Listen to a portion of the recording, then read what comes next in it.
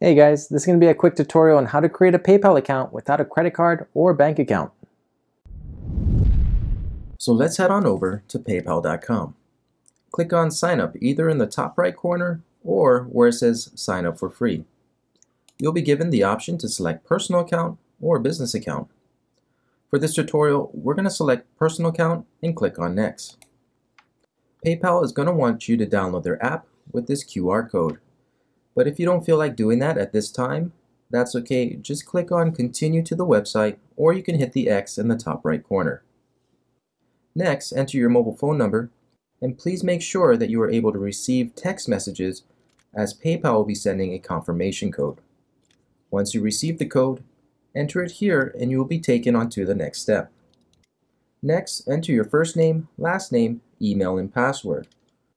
Also, when creating a password, remember to include letters, numbers, and symbols, as this will help to give you the strongest password possible. And always keep your passwords in a safe, secure place. If you would like to know what I use to keep my passwords safe and secure, I'll leave that information in the description box down below. Once you're all done filling that out, click on Next. Now depending on the browser that you are using, you might see a pop-up like this. This is your browser trying to save your password.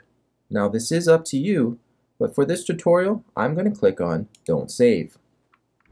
Next, let's enter your street address, city, state, and zip code. Click on the small box and review the terms of service.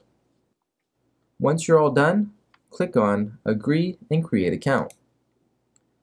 Now at this point, they are going to want you to link a credit card or bank account.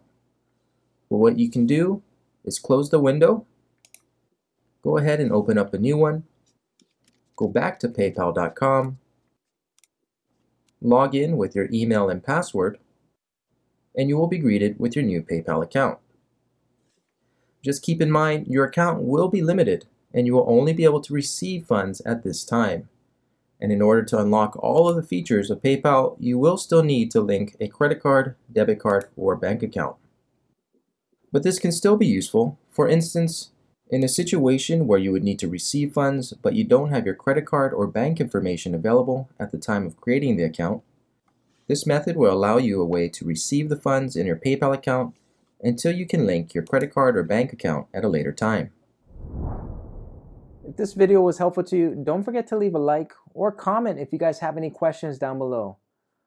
Also, I'll leave some ways on how you can help support and grow this channel in the description box down below. Thanks for watching and I'll see you guys in the next video.